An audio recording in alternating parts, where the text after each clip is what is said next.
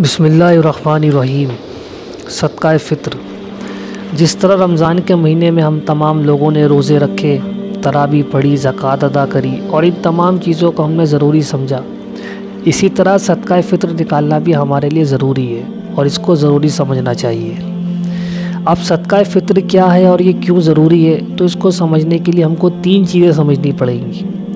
पहली चीज़ तो ये है कि रमज़ान में हम लोगों ने जो इबादतें करी हैं, जिसमें हमने रोज़े रखे, तिलावत की, ज़िक्र किया और अच्छे अच्छे काम किए, इसमें जो कमी कोताही हमसे रह गई हैं, सदका फ़ितर उन कमी कोताहियों को दूर करने का, दूर करने का कफ़ारा है। और इसी तरह रमज़ान अल्लाह ताला की तरफ़ से एक बहुत बड़ी नेमत है हमारे लिए कि अल्लाह ने हम तमाम लोगों को रमज़ान मुबारक अता फ़रमाया और उसके रोज़े रखने की तोफ़ी दी। तो उसके शुक्र में भी सदका फ़ितर निकाला जाता है। और तीसरी और अहम चीज़ ये है कि बहुत से लोग ऐसे होते हैं कि जिनके घर में चूल्हा नहीं जलता, जिस तरह हमारे घर में ईद के दिन जलता है या उनके पास अच्छे अच्छे लिबास नहीं होती ईद के दिन पहनने के लिए, जिस तरह हम लोग ईद के दिन अच्छे अच्छे लिबास पहनते हैं तो उन लोगों की भी ईद अच्छी बन जाए तो इसके लिए भी सदका फ़ित्र निकाला जाता है। अब इसको कब निकालना है? तो सदका फ़ित्र जो है, बेहतर तो यही है कि ईद की नमाज़ से पहले पहले इसको निकाला जाए। या अगर कोई रमज़ान के दिनों में निकालना चाहे तो उसमें भी सदका फ़ित्र निकाल सकता है।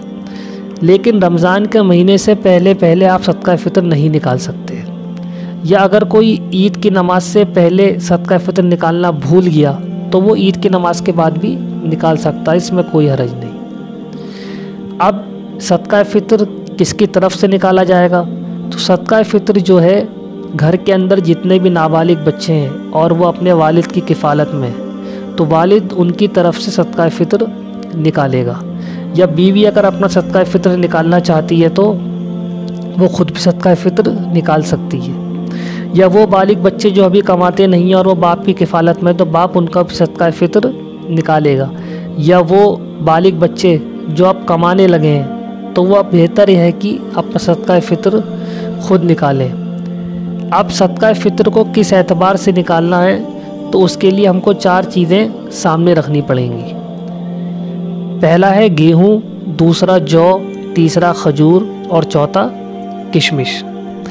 अगर हम गेहूँ के एतबार से सदका फ़ित्र निकालेंगे तो हम एक किलो पाँच सौ चौहत्तर ग्राम 640 मिलीग्राम गेहूँ की कीमत को निकाल कर किसी गरीब को देंगे।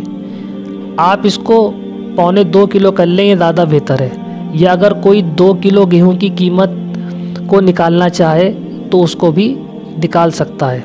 मैं फिर से अर्ज़ कर दूँ, जो गेहूँ की कीमत के अतबार से निकालेंगे, वो एक किलो पाँच सौ चौहत्तर ग्राम 640 मिलीग्राम गेहूँ की कीमत को निकालेंगे। अब जो जौ, खजूर और किशमिश की कीमत के अतबार से निकालेंगे तो वो तीन किलो डेढ़ सौ ग्राम। कितना? तीन किलो डेढ़ सौ ग्राम जौ खजूर किशमिश की कीमत को निकालेंगे। और ये एक आदमी की तरफ़ से निकलेगा। अब सदका फ़ित्र जो है, इसकी कीमत जो हम निकालेंगे, इन चारों चीज़ों को सामने रखते हुए तो एक चीज़ सबसे ज़्यादा ज़रूरी जो हमको देखनी है, वो इसकी कीमत को देखना है। कि हम इन तमाम चीज़ों की कीमत को अपने शहरों में देखेंगे कि हमारे शहर में इस वक्त गेहूँ कितना है और जौ कितना है, खजूर कितनी है, किशमिश कितनी तो इस एतबार से निकालेंगे। और सब, और जो लोग साहिब माल हैं या जिनको अल्लाह ताला ने बेशुमार माल से नवाजा है तो बेहतर यह है कि वो लोग खजूर और किशमिश की कीमत से सदका फ़ितर निकालें। अब जिनके पास इतनी हैसियत नहीं है या इतना माल नहीं है तो वो लोग गेहूँ के अतबार से सदका फ़ितर निकाल सकते हैं।